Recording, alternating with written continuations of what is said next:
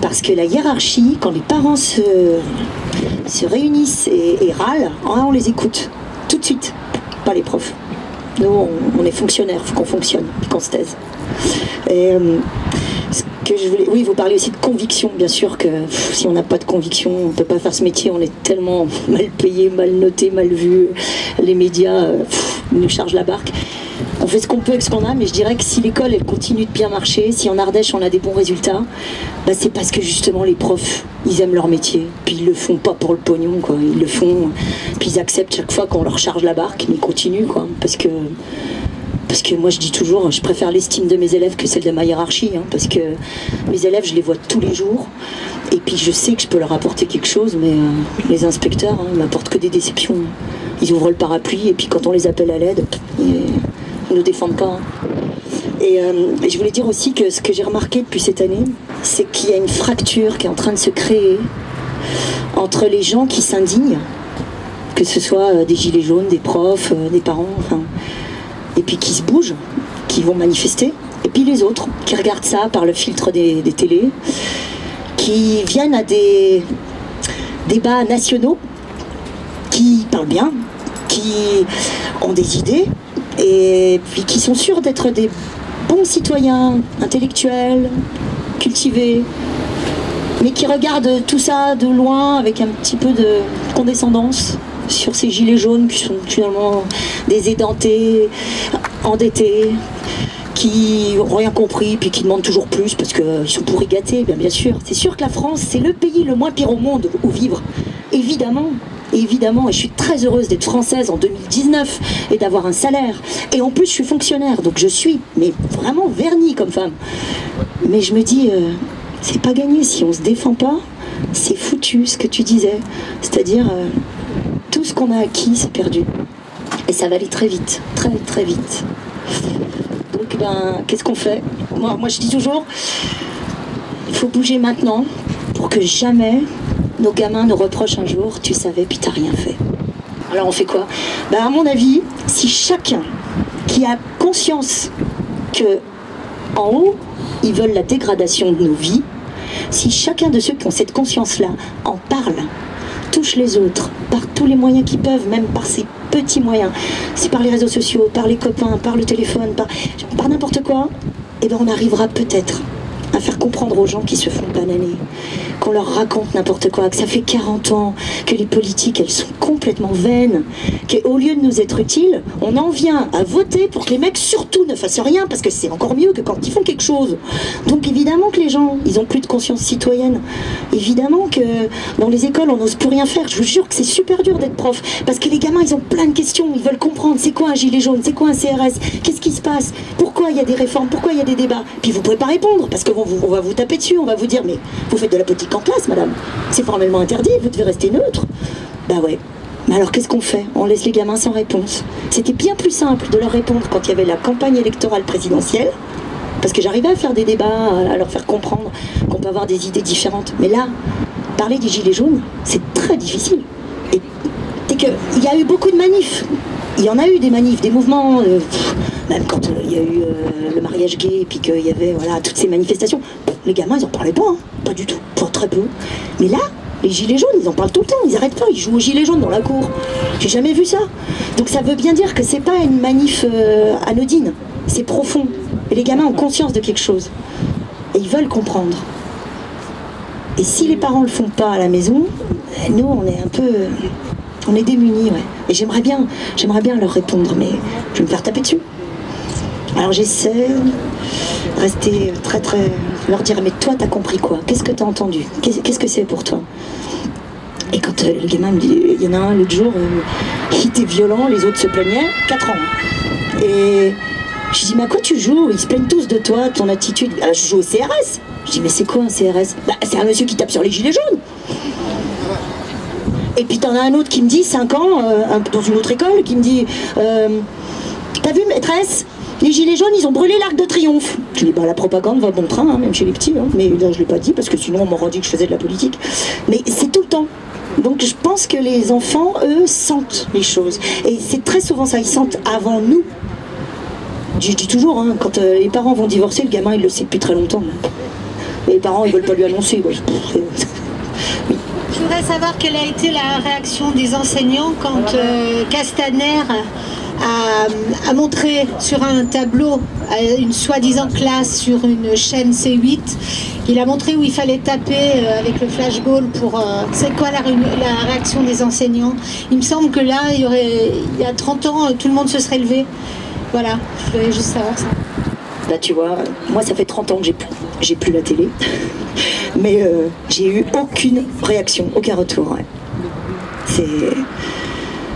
Et quand euh, il y a eu quelques petites discussions entre collègues, euh, on parle de manif, beaucoup disent Ah ouais, mais non, ils abusent, les manifestants, ils cassent tout, donc c'est normal que les CRS ils pètent les plombs, on peut pas leur en vouloir, c'est normal.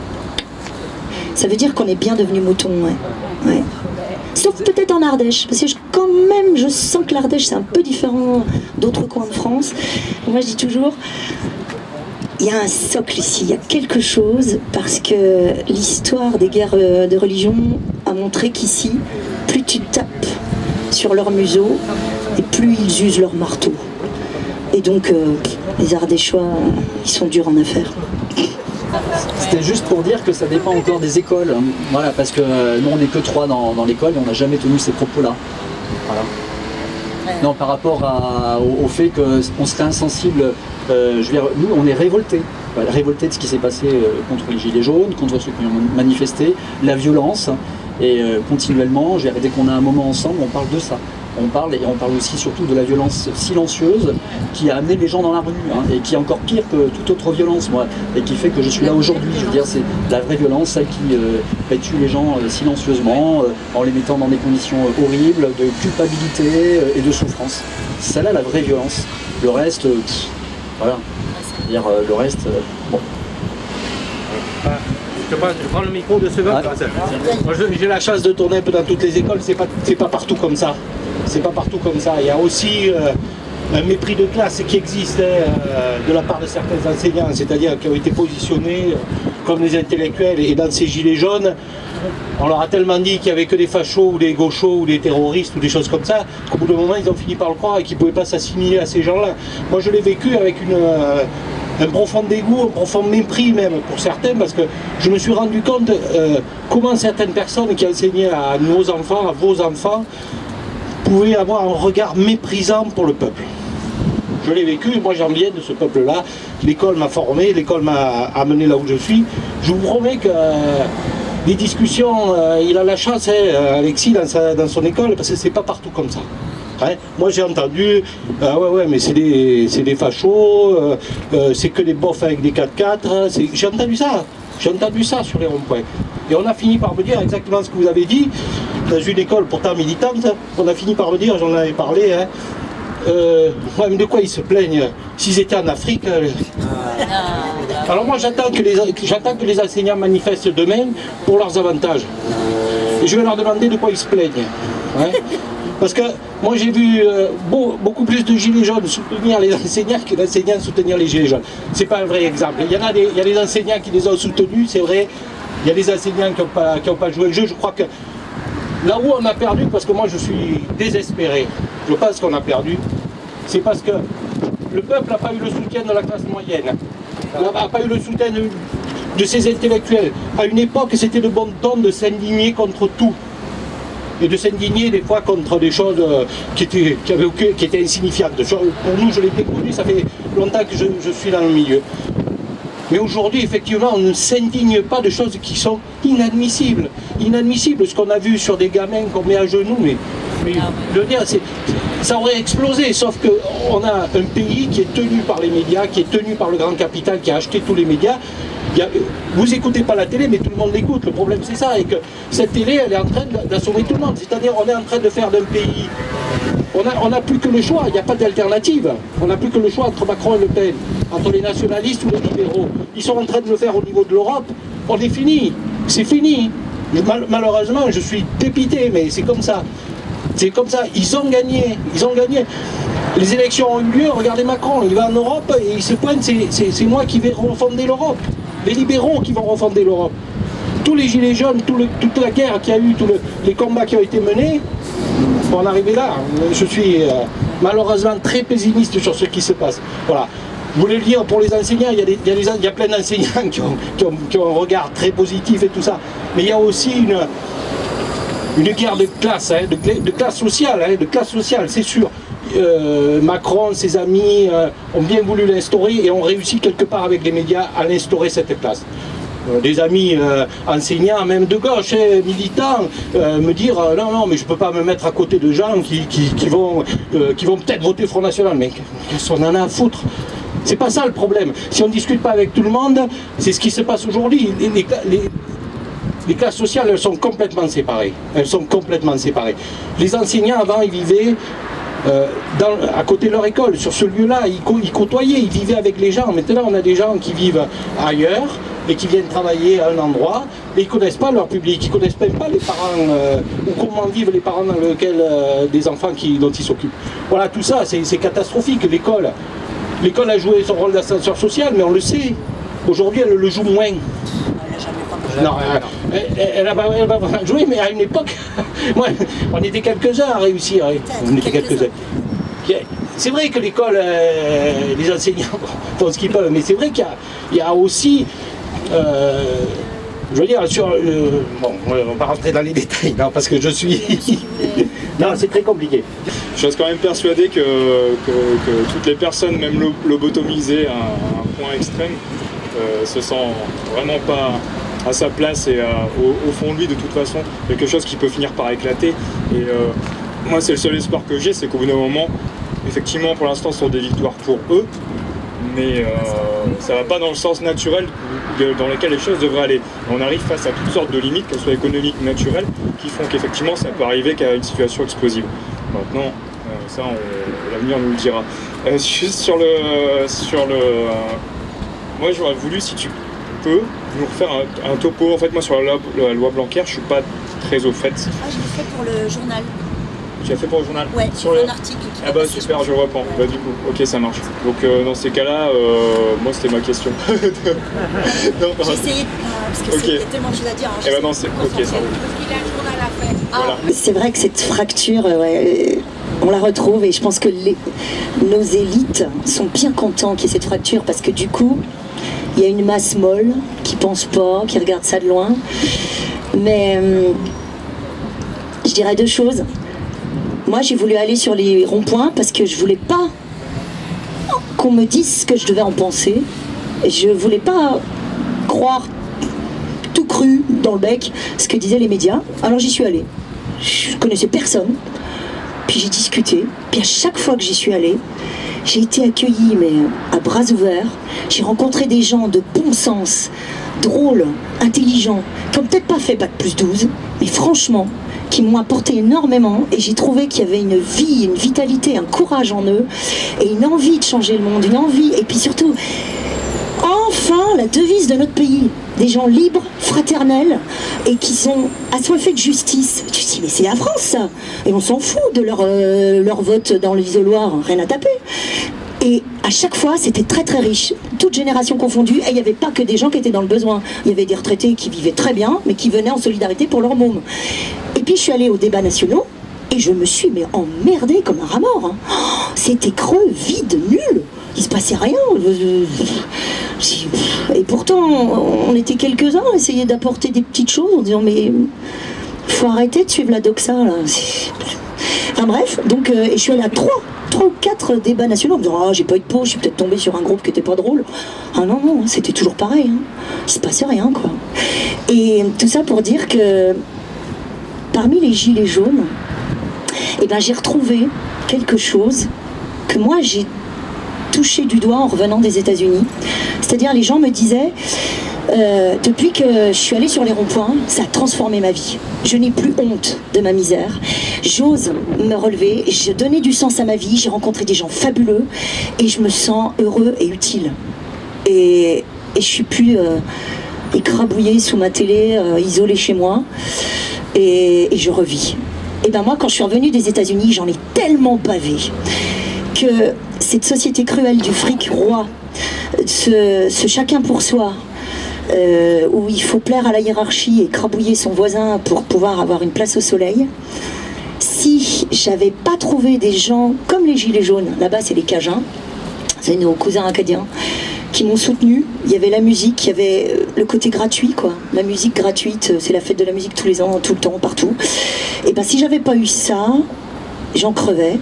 Et je suis revenue, mais encore plus déterminée que jamais, en me disant euh, j'aime la vie, j'aime mon pays, je suis fière, fière, fière d'être française. Et il faut sauver ce qui est encore sauvable. Et, euh, je me dis qu'il n'est pas trop tard. Et contrairement à ce que tu dis, là, toi, tu es défaitiste, je suis persuadée qu'on est le petit caillou dans l'engrenage et qu'on va les emmerder jusqu'au bout. Parce que le pauvre monsieur Macron et ben moi je m'inquiète pour sa reconversion professionnelle hein, parce que à la fin de son mandat je sais pas où il va pouvoir aller. Il va aller très très très très loin parce qu'ici il est cuit hein. et puis euh, leur politique eh ben, ils vont essayer mais c'est pas grave. Nous on est sur le terrain et on continuera de faire. Ils nous mettront des blâmes. Moi j'aurai jamais de palme académique j'aurai jamais de super notes mais tant pis hein. c'est pas pour que je travaille c'est pour les gamins. Et puis pour l'avenir. Et puis je suis contente de faire ce que je fais. Et si j'avais voulu gagner plein de sous, j'aurais jamais passé le concours de prof des écoles.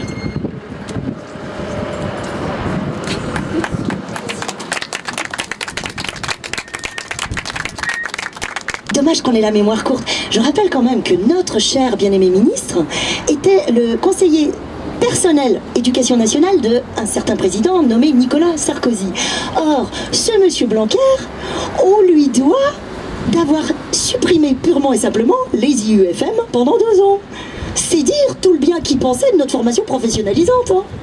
Donc aujourd'hui, ces petites lois, hein, bah, elles sont logiques et dans le fil de... euh, bah oui, il continue dans ce qu'il a toujours pensé. hein. Il faut nous mettre au pas, il faut qu'on obéisse. Et, et la formation continue, elle se réduit, se réduit en peau de chagrin. Et bientôt, ce ne seront plus des enseignants qui seront les remplaçants, ce seront des petits étudiants qui ne connaissent rien au métier. Or, on sait ce que c'est le statut de remplaçant, c'est d'être un prof Kleenex et bouche-trou. Quand déjà, vous ne savez pas ce que vous allez avoir comme classe à 8h du matin et que vous débarquez, vous connaissez personne, imaginez le petit jeune qui va se retrouver face à une classe, il se fait bouffer. Et derrière ça, il ne voudra plus jamais faire ce métier. Déjà qu'on a du mal à recruter, bah que voulez-vous? Tout est fait pour que l'école publique périclite.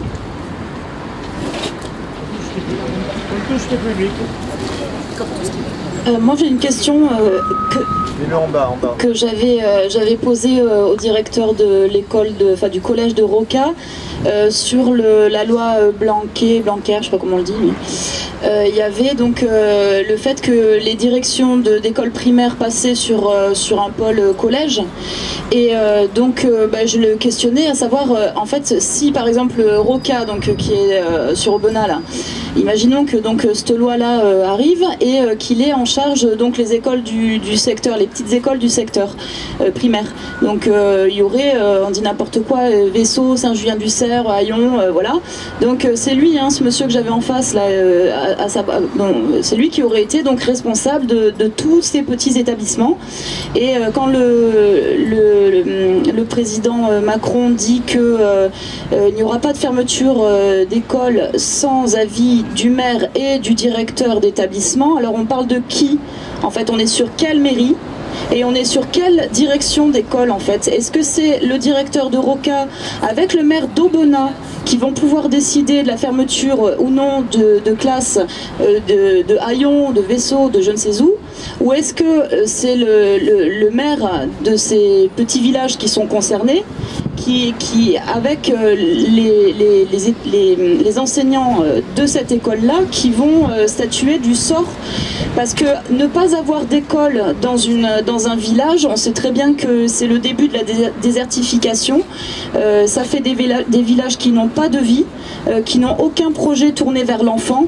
Moi, la vie des enfants aujourd'hui par rapport, parce que moi, ce qui m'intéresse en ce moment, parmi tant d'autres choses, c'est la vie dans la rue. Je trouve que la, la- la vie dans la rue a énormément euh, changé. Euh, la rue, elle est à tout le monde en fait. hein. Elle n'est pas que euh, au SDF et qu'on on a des rues qui sont couloirs maintenant. Et la place des enfants en extérieur, en fait, les enfants, on leur place que chez, papa-maman, quoi, en garde alternée souvent. et à l'école hein, où on les dépose comme au drive. Et, en fait, ces, ces vies-là, en fait, de, de villages, j'ai l'impression qu'elles sont, elles vont se, se rétrécir. euh, pour toujours avoir un, trajet euh, le plus direct possible entre euh, là où on dort, là où on apprend à être ouvrier, et puis après, bah, là où on est ouvrier, quoi. Et entre, il n'y a rien. Il y, a du, grand néant, quoi. Et je, voudrais avoir une précision pour pouvoir leur mettre dans la gueule, en fait. Savoir qu'il soit clair. Parce que là, c'est pas clair. C'est le maire de quelle ville?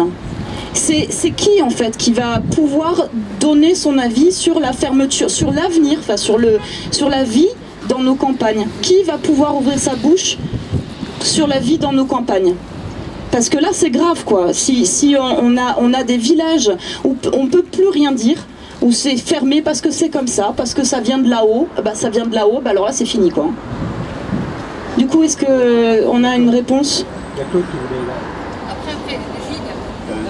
Non moi je le donne que s'il y a une réponse moi. Non, euh, par rapport à ce- cet article dans la loi, il me semble qu'il a été modifié et que maintenant ils sont revenus à- sur ce- cet article-là. Et que les écoles ne seront plus euh, assimilées au, au- au collège. Mais c'est pas la première fois, hein, ça fait plusieurs années qu'il t'en parle. Donc, euh, Il vous, il vous donne un peu là. Non, non, il Vous faut voulez vous mettre. Non. On va tout prendre. En tous les cas, ce qu'il faut, ce qu'il faut se méfier, c'est que même s'ils retirent, là, il y a plein de choses qu'ils ont retirées avant, qu'ils remettent après. C'est-à-dire qu'ils n'ont pas pu faire rentrer par la grande porte, ils font rentrer par la fenêtre. Et là, il faut se méfier.